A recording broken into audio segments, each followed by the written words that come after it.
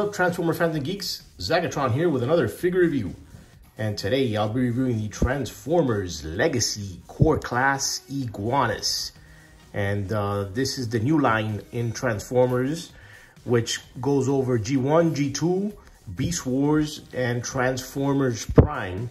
So I'm very excited uh, to start reviewing these figures and uh, we're gonna get started here with Iguanus. And Iguanus is from G1 and he was part of the Pretenders line where the Pretenders had an actual robot and they had a shell which would uh, disguise the robot. They wouldn't actually transform, but this, uh, this iteration of Iguanus actually transformed into a bike. So without further ado, let's take a closer look at Iguanus in packaging. And this is the uh, uh, brand new packaging from Hasbro, which is more uh, eco-friendly and it does not include any plastic as far as the packaging, which is now easier for thieves now, so they could just, you know, pull the figure out, just cut the, uh, just cut the plastic wiring and just pull him out, and then you go, you got a free figure. Uh, yeah, I don't, I don't quite like this, uh, but well, I guess it's, uh, it's uh, safer for the environment, uh, but uh, I, I don't like it. The packaging does look very nice, but uh, without plastic, it, I don't know. But that's just my opinion anyways. But uh, let's go over the packaging. There is Iguanus there, in his uh, vehicle mode. Uh, obviously in G1, he was not a vehicle, but uh, in this version, he is a some sort of motorcycle. And so we do have the new Legacy logo there.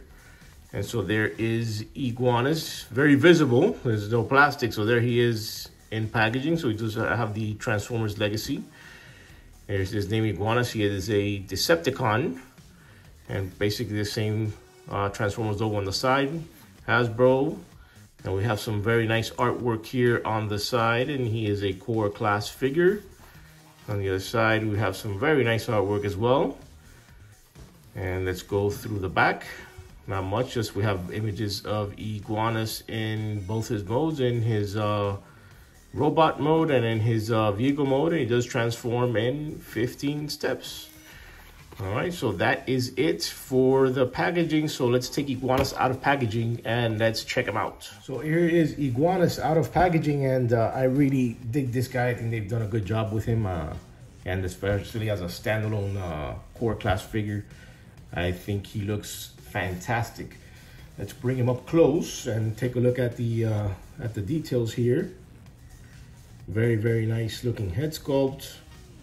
Like the uh, the gold and the red paint apps there, that torso. This guy is very, very cool and I really, really like this guy. With the black paint apps there on the on the forearms. Very cool. The Decepticon symbol in the back. Very nice looking figure. As far as articulation, his head is on a ball joint can get a whole lot of movement out of it, but yeah, can look up and down, but he, do, he can look left and right. The shoulders also are on ball joint, so we do get full range of motion, but these wheels get, get in the way, but we do get a whole range of motion out of that shoulder. We do get uh, ball jointed elbows as well. There's no articulation in the hand. We do have waist rotation. We do have knee bend as well. It's also on a ball joint. And he could kick that high up. Because that could go that far back. And we also have feet on ball joints as well. So they could rotate in, they could rotate back. So we have all sorts of angles there on the feet. So very, very cool figure. I quite dig him a lot. So get a bit into focus here. So let's put him down and let's check out his weapon. And he does come with this, uh, focus right a little bit. So he, this is his weapon here. And it's also painted in gold and red. Very, very nicely done. And we could also have Iguanus here. Let's bring him back in focus. You could have him hold his weapon like so. And if you want to store his weapon, you could just go ahead and rotate it with the thicker peg and it just goes right back here in his backpack. And then we also have weapon storage. Yay! We've got weapon storage. So let's put Iguanus back here. Let's focus a bit. If you could just stand up straight and there we go. And one cool thing now with the legacy figures that uh, we get, now we get tech specs. So now in the instruction booklets, you have this um, this QR code that you can scan uh, with your phone and it redirects you to a uh, to his bio. So you can see of Iguana's stats there and he is from G1. So this is a very, very cool feature that they've added with the legacy uh, figures, and I am very, very, uh, very happy it did that. And uh, another thing with these, with this particular wave, there's three of them. There's uh, we got Iguanus, we have Skywarp, and we have Hot Rod. And uh, you bring it out in the instruction manual, so you combine all their three weapons, and it forms that uh, great big sword of death there. So that is really cool as well. All right, so let's focus back in on Iguanus here. And for a quick comparison, let's bring out some of his other core class Decepticons. So here is core class Megatron. And here is core class Soundwave. And these three look very good together. Nice little, uh, nice little portrait there of the three of them. All right, so let's get these guys out of the way and now let's transform Iguanus. All right, now to transform Iguanus, let's remove his weapon. We're gonna plug it right back in anyways, but uh, let's just remove it for now. So we're gonna come around to the back and this is on a hinge. So we're just going to open it up and we're going to fold it. So his head is going to be flush with this part of, uh, of this hinge. So everything, make sure everything lines up. And so we're going to fold this over his head and it's going to, there's two plugs right there and it's gonna plug right back in. Make sure everything is flush. So there we go. So that's flush and now we push everything in and so that's how that's supposed to look. Right, so we come around the back. And so now we have uh, the bottom part of the bicycle. So this is on a ball joint as well. So we're going to get this piece and we're just gonna, you know, straighten it out like that. And so we're going to get the bottom portion.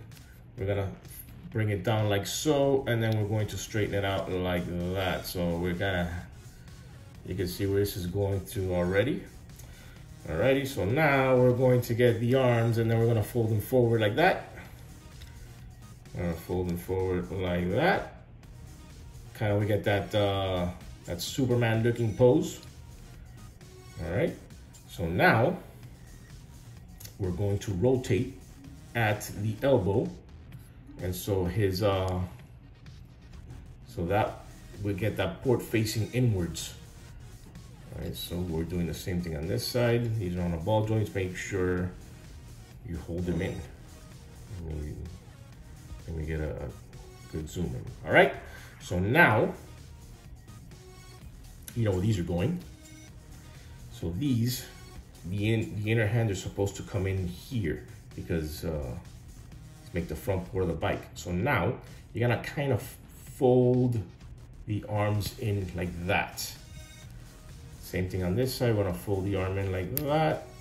So kind of like his arms kind of folded. So now we're gonna just tab in the fists right on the, right on the wheel well there. And so, let me zoom out and then zoom back in. There we go. Because there's something with a focus here. So now, that is supposed to plug into that. So now since we have everything here, boom, one in. And boom, the other one's in. So now we got that front end of the bike all done. Very cool. All right, so now we're going to rotate at the waist. Make sure you get that. All right, so now we're going to rotate where these pegs here face inward. So we're gonna rotate at the knee. And so this has to face in. Same thing with the other side, rotate and make them face inwards. So these are going to port right into the side of this tail. You see that's right there. And you see that other side right there. So we're going to bend that knee as well. And then we're also going to rotate the feet. We're gonna rotate the feet like so. And then we're going to fold them in like that. Feet are gonna be folded in like that.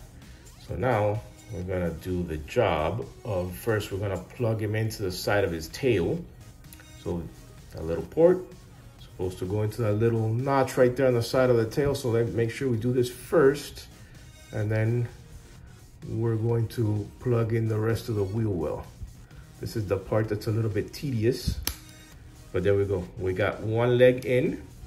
So now we're gonna do the other side and then we're going to attach them to the tires and then we got a, we also have a cool looking iguana bike. I'm gonna push that in, give it a little squeeze, make sure that uh, that ports right into the side. Let's push that out of the way, and there we go.